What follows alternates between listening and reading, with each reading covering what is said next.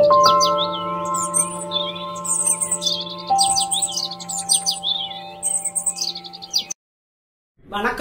உங்க பாட்டி பேசுறேன். இப்ப பொடுகு வருதுன்றாங்க. அந்த பொடுகு நிறைய பேத்துக்கு இப்ப பொடுகு பிரச்சனை தான். அதனால முடி உதிர்வு பிரச்சனை. முடி நல்லா ஆரோக்கியமா போசாக்கோட வளர்றதுக்கு நான் ஆணி விதையில உங்களுக்கு ஒரு பசை மாதிரி காய்ச்சி உங்களுக்கு நான் செஞ்சு தரேன். வாங்க பார்க்கலாம் இந்த பாத்திரத்துல ஒரு டம்ளர் தண்ணி விட்டுக்கிட்டேப்பா இது ஆளி விதை. ஆளி விதை வந்து சாப்பிடக்கூடவும் செய்யலாம். பாயாசம் மாதிரி வச்சு குடிக்கலாம். ரொம்ப நல்லது உடம்புக்கு. இந்த கொலஸ்ட்ரால்லாம் எடுத்துரும். இதில் வந்து ஒமேகா திரி இருக்குது. அது மண்டை முடியிலேருந்து உடம்புக்கு ஸ்கின்னுக்கு எல்லாத்துக்குமே நல்லதுப்பா. இப்போ ரெண்டு ஸ்பூன் ஆளி விதையை நான் இதில் போடுறேன். இந்த கத்தாழை ஜெல் எடுத்து வச்சுருக்கேப்ப இதை நம்ம நல்லா சும்மா இவ்வளோ வந்தால் போதும். இந்த அளவுக்கு நம்ம இதை நல்லா நசுக்கி வச்சுக்கிடுவோம் இதை வந்து ஊட ஊட கோச்சிக்கிட்டு இருக்குது. ஊட ஊட நம்ம கிண்டி விட்டுக்கிருவோம். இது அது வேகும் போதே நம்ம இதை நல்லா நல்லா பிசைஞ்சு கையில் பிசைஞ்சு விட்டுக்கலாம். எலுமிச்சம்பழத்தப்பா தோளோட விதையோட நறுக்கிறேன் பாருங்க.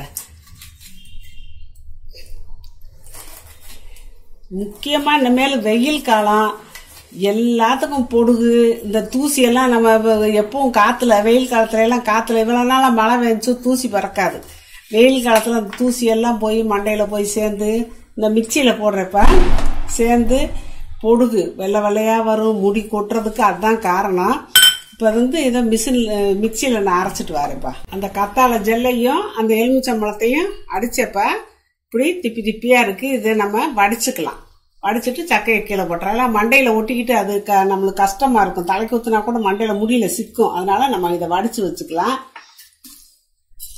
இந்த பாருங்க. ஆளி விதை வந்து இந்த மாதிரி ஜெல்லு மாதிரி வலு வலு வலுன்னு வந்துருச்சு பார்த்தீங்களாப்பா இந்த நேரத்தில் நம்ம வடிச்சுக்கலாம்.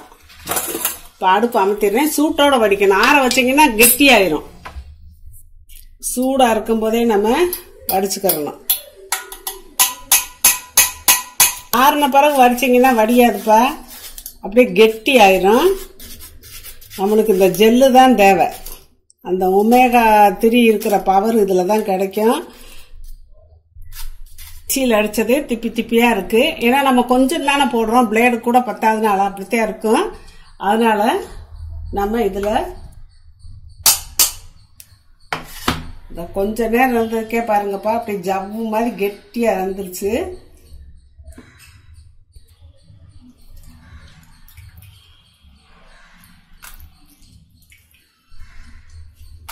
இப்போ இந்த எலுமிச்சை சாரையும் நம்ம இந்த பிழிஞ்சு விட்டுட்டோம்ப்பா. சக்கை தான் இருக்குது.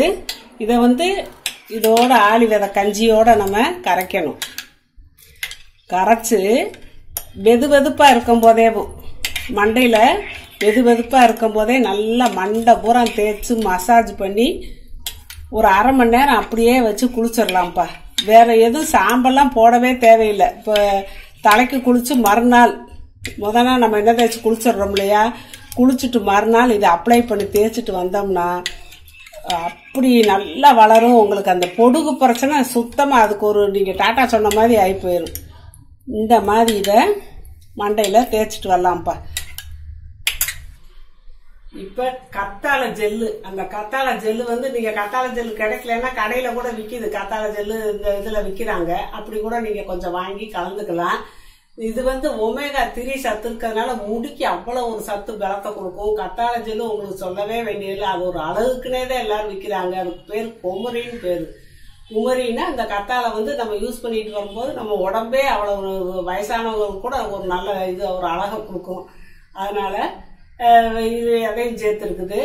எலும்புச்சம்பழம் கண்டிப்பா டேண்ட்ரஃபுக்கு ரொம்ப முக்கியமானது. மண்டையில இருக்க இந்த கசடு கிசடு எல்லாம் எடுத்துட்டு வந்துடும் நீங்க வாரத்துக்கு ஒருக்க எண்ணெய் வச்சு மறுநாள் தேங்காய் பால் தேய்ச்சி குளிக்க சொல்லியிருக்கேன். வெங்காயச்சாறு வச்சு குளிக்க சொல்லியிருக்கேன்.